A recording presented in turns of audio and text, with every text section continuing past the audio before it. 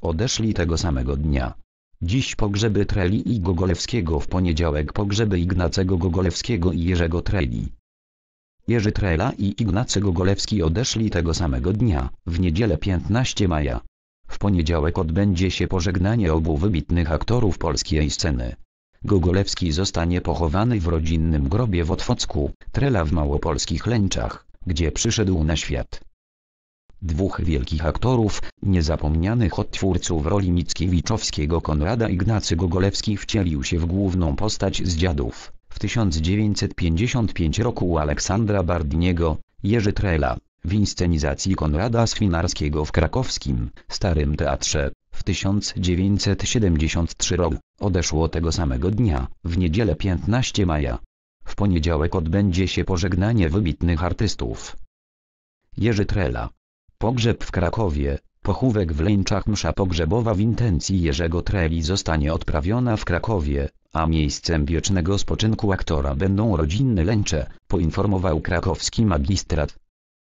Według zapowiedzi, uroczystości rozpoczną się o godzina 9.00 w kościele o Dominikanów w Krakowie zostaną wystawione prochy Jerzego Treli, a o godzina 10.00 rozpocznie się tam msza żałobna. O godzina 14.00 na cmentarzu w Lęczach w powiecie wadowickim Małopolskie odbędzie się ceremonia pochówku. Aktor spocznie tam w rodzinnym grobowcu. Ignacy Gogolewski Masza pogrzebowa w Warszawie jak poinformował w mediach społecznościowych duszpasterz środowisk twórczych, msza święta pożegnalna w intencji Ignacego Gogolewskiego rozpocznie się o godzina 11.00 w Kościele Środowisk Twórczych na Placu Teatralnym w Warszawie. Po mszy nastąpi przejazd do Otwocka, gdzie świętej pamięci Ignacy zostanie pochowany w grobie rodzinnym na cmentarzu parafii świętego Wincentego a Paulo. Msza będzie transmitowana online za pośrednictwem kanału YouTube Duszpasterstwo Środowisk Twórczych. Jerzy Trela, aktor 350 ról Jerzy Trelaur. 14 marca 1942 rok, był aktorem teatralnym i filmowym oraz profesorem Państwowej Wyższej Szkoły Teatralnej w Krakowie, obecnie Akademii Sztuk Teatralnych. Zagrał w życiu około 350 ról.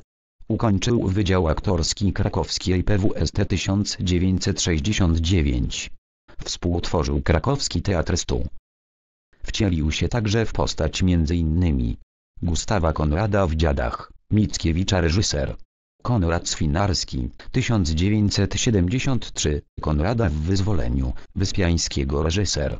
Konrad Swinarski, 1974, Jasze w Wiśniowym Sadzie, Czechowa Jerzy Jarocki, 1975, Raskolnikowa w Zbrodni i Karze, Dostojewskiego Maciej Prus, 1977 i Klaudiusza w Hamlecie, Szekspira Andrzej Wajda, 1981.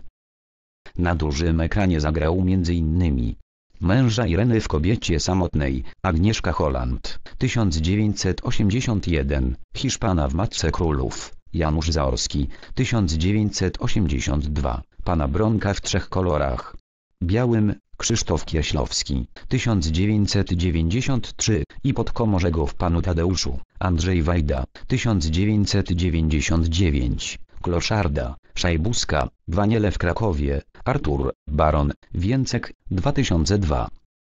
Jerzy Trela przez wiele lat uczył aktorskiego rzemiosła studentów PWST w Krakowie obecnie Akademii Sztuk Teatralnych. W latach 1984-1990 był rektorem tej uczelni.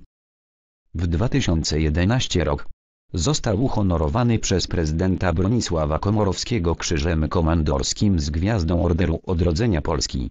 W zeszłym tygodniu Rada Miasta Krakowa jednogłośnie przyznała aktorowi najwyższe krakowskie wyróżnienie, honorowe obywatelstwo stołecznego królewskiego miasta Krakowa, w dowód uznania jego szczególnych zasług dla rozwoju życia teatralnego Krakowa i kultury polskiej.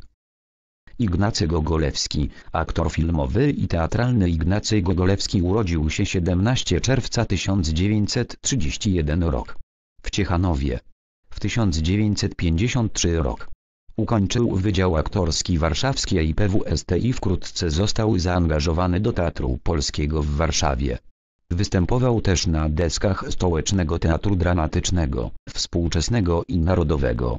Kierował Teatrem Śląskim imienia Stanisława Wyspiańskiego w Katowicach, Teatrem imienia Juliusza Osterwy w Lublinie oraz Teatrem Rozmaitości w Warszawie.